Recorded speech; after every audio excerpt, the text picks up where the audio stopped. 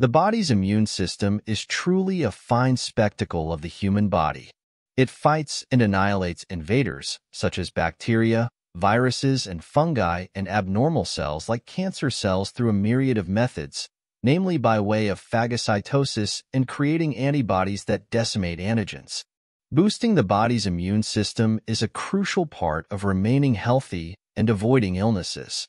There are several factors that can boost or diminish your overall immune function. Primarily, receiving adequate sleep is paramount to ensure that your immune system is in peak shape. However, modern societies are experiencing an increasing trend of reduced sleep duration, with nocturnal sleeping time below the recommended ranges for health. Sleep plays a vital role in bolstering the immune system, aiding the body's ability to fend off infections and inflammation. When deprived of sleep, there are changes in both innate and adaptive immune responses, resulting in a persistent state of inflammation and heightened vulnerability to various diseases such as heart and metabolic disorders, cancer, autoimmune conditions, and neurodegenerative illnesses.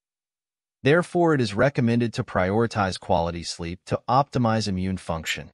Most adults typically require between 7 to 8 hours of quality sleep per night for optimal rest.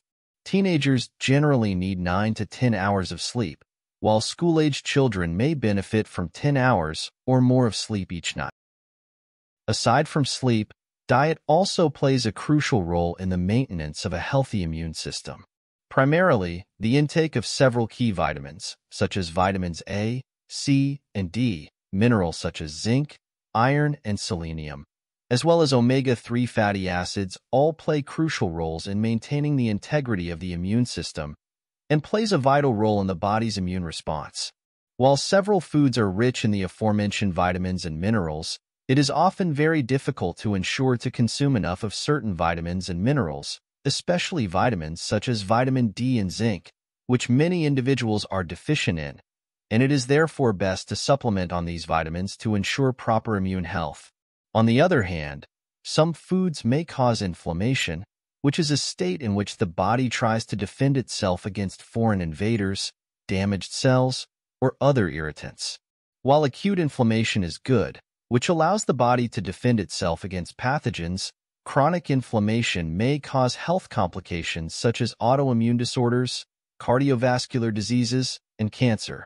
Some foods that may cause inflammation include refined carbohydrates or foods high in sugar, fried foods, sugary drinks, processed meat, and margarine, shortening, and lard.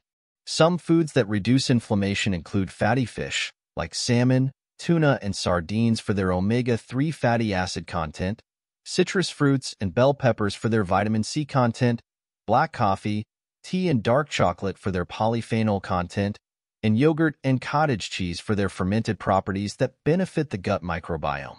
It is very important to consume foods that feed the gut's microbiota, as the gut's microbes digest fiber from your food, shape your immune system, and help protect you from pathogens.